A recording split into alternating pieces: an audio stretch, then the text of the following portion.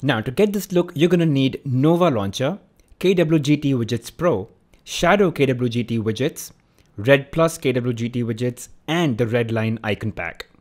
Now if you don't know how to use Nova or KWGT, I've done a full-blown tutorial on explaining how to do that. The video will be in the top right corner, do check it out.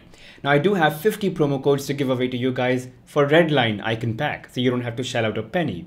All you have to do is subscribe to my YouTube channel, follow me on Instagram and DM me there asking me for promo codes to Redline Icon Pack. I have 50, so I'll give them first come first serve basis, so best of luck. And now let's move on with the setup. Now I'm assuming that you've downloaded and installed all of these applications. First thing is you're gonna have to run Nova Launcher and assuming that you're running Nova Launcher already, just go and add a new home screen or a fresh home screen with nothing on it.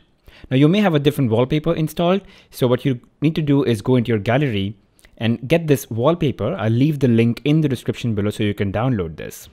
Then just go ahead and apply it as wallpaper on your home screen and make sure that the cup is on the left side uh, so that you've got some space for the icons on the right. And then you say set on home screen.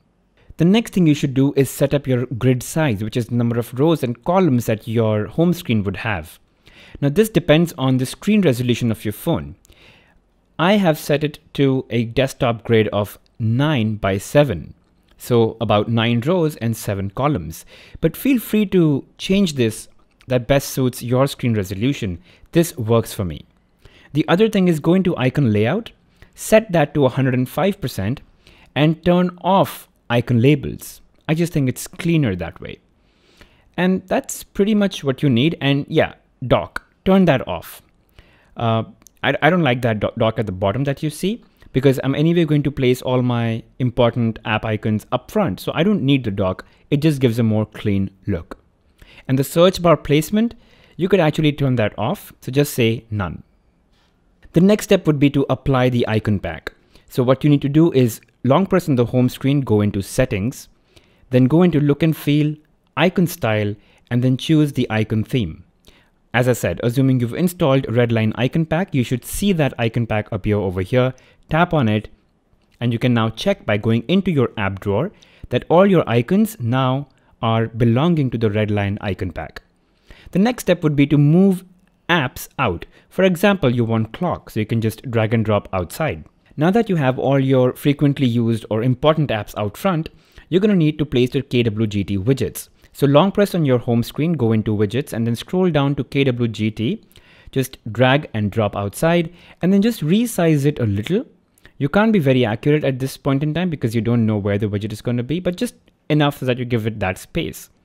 And while you're at it, just add another one. Uh, so you've got both your widgets outside and then we'll go ahead and set those up. Okay. So the first widget over here is from the red plus icon pack. So tap on it and then go into the installed, assuming you've installed the red plus KWGT widget pack. And I think it's called red plus widget uh, 155. So let's scroll down and look for 155 and there you go. That's the one that I was using. So if you just tap on it and right now if you see it looks a little too big, but don't worry about it. Let's just hit save and then go out. Um, and you have this right now. So what you can do is just resize it and make it a little bigger. So it has all the space it needs and then go back into it and you'll see that 19 is actually completely in red color. What you want is that this, this square be filled with white. So just hit stack group, then go into this stack group over here. And then there's an overlap group, click on that, and then go into shape. All I have to do is fill the shape with white color. So I just go into style and then I say fill and I don't want red fill. I just want a white fill. So I'll just do that and I hit save and that's it. Um, that widget is ready. Now, if you want to take it a little up, you can do that. And there you go, it's, it's pretty much set. The next widget was from Shadow KWGT. So click on this, go into installed, and then hit Shadow KWGT widgets.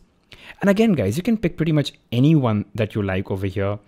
Uh, the one that I'm using is probably somewhere down.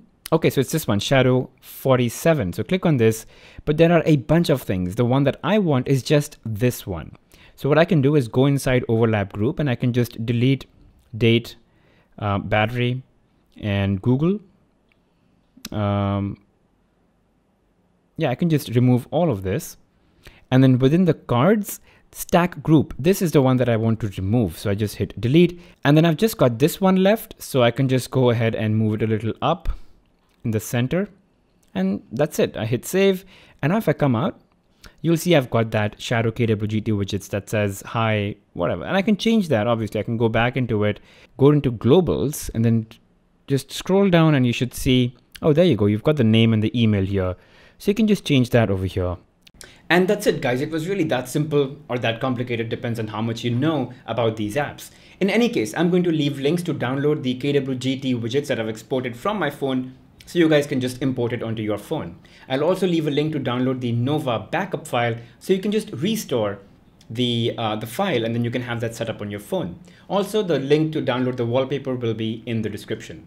Anyway, thanks for watching guys. I hope this was really helpful to you. If you've got any questions in the comment section, as always, don't forget to drop a like, hit that subscribe button and that bell icon. I'll see you in the next one.